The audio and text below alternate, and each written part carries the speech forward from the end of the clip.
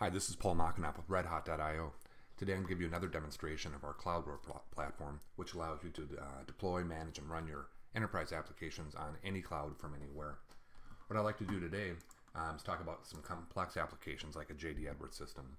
Um, a JDE system compo is composed of a minimum of five servers. You have an enterprise server, a database server, a JAS server, and then some Windows servers like a deployment and dev server that all have to be integrated and deployed at the same time. So let's go ahead and do that by logging into the uh, Enterprise CloudWare platform.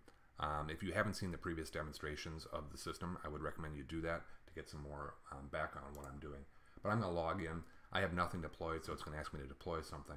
I'm going to go click on uh, Filter Services by ERP, and we have different ERPs here. I'm going to click on JD Edwards 9.2.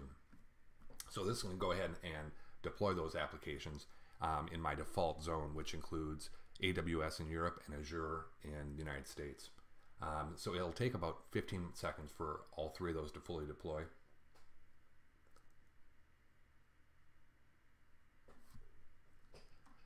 And now we're just waiting for the JAS server to finish up.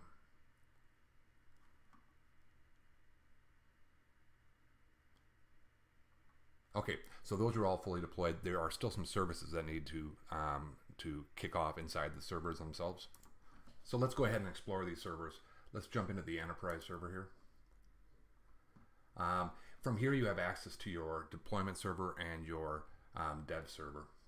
Um, you have RDP access directly from the browser here, um, as well as having access to Secure Shell if you want to do any modifications to the system. So we'll jump into the JAS server now.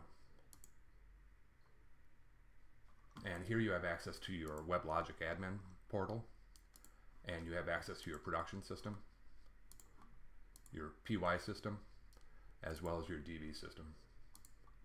So let's log on here.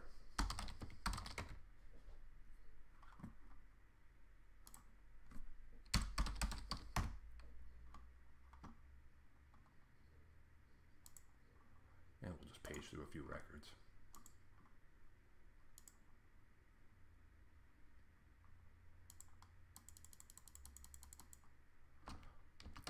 Awesome. So this has been Paul Machinop with RedHot.io. For more information, I ask you to visit our website at uh, www.redhot.io. Thanks.